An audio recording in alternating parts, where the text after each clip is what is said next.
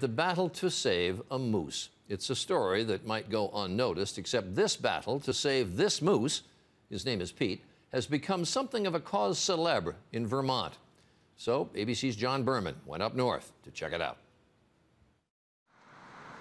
The Northeast Kingdom of Vermont has a simple beauty red barns, green hills, golden leaves.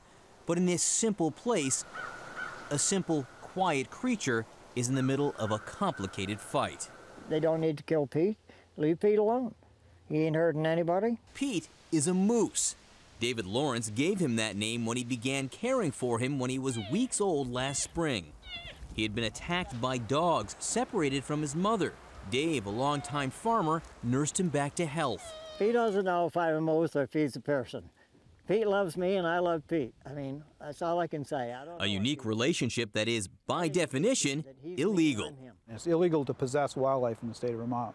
But that is just the beginning. You see, Dave is raising Pete on a hunting reserve, a fenced in area where people pay to shoot at herds of elk. Officials fear that confined herds like these are a breeding ground for chronic wasting disease that can wipe out wildlife and they worry Pete, raised inside, go, could be a carrier.